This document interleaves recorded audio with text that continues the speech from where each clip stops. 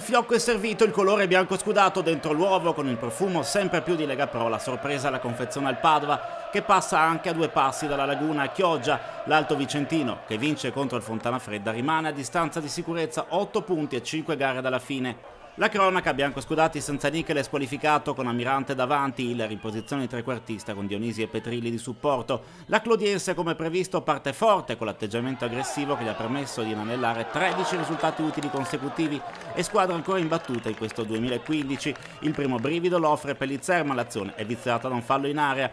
I biancoscudati rispondono con Amirante. Al settimo l'attaccante, dopo aver sfruttato un'indecisione della difesa di casa, calcia male dal limite dell'area. Un minuto più tardi Francesco Tiozzo è costretto a metterlo giù e beccarsi il primo giallo della partita. La successiva punizione calciata a Segato non è pericolosa con il pallone che finisce alto. All'undicesimo Dionisi si libera bene a destra sfruttando un giocatore della Clodiense che scivola, ma anche lui calcia troppo in fretta. Verso il primo quarto d'ora è Petrilli ad avere una doppia occasione, bene a destra con il suo tiro al volo che finisce fuori, bis poco dopo con la palla che non trova la porta avversaria.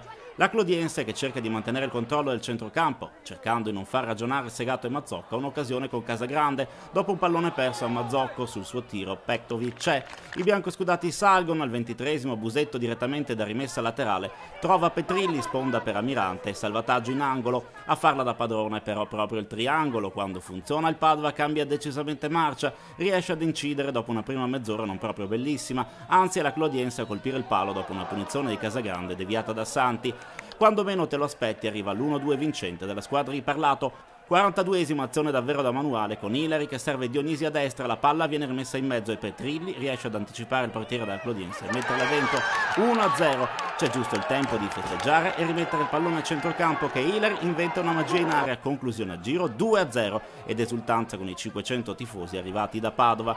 Nel secondo tempo il giallo lo offre l'arbitro Parrella di Battipaglia dopo 7 minuti Prima ammonisce Nicolini, poi viene richiamato dal suo assistente ed espelle Sentinelli. Dopo le tante proteste e una spiegazione di un giocatore della Clodiense, il direttore di gara rettifica ed espelle Nicolini.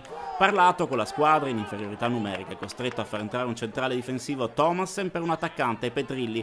Sul match si alza un po' di tensione, la Clodiense prova ad accorciare, il Padova controlla bene il doppio vantaggio, nonostante l'inferiorità numerica i più pericolosi per la formazione di Andrea Pagan sono un tiro di Moretto al 33esimo e una punizione sulla barriera al 36esimo di Santi, al 40esimo Zubini in contropiede entrato da poco, viene fermato a pochi metri dalla linea del terzo gol, poco importa davvero, il Padova sbanca Chioggia 2-0 grazie ai gol di Petrilli e Hilary nel finale del primo tempo, se non è un'ipoteca questa sulla promozione poco ci manca, chiusura doverosa sulla grande festa finale allo stadio Ballarin.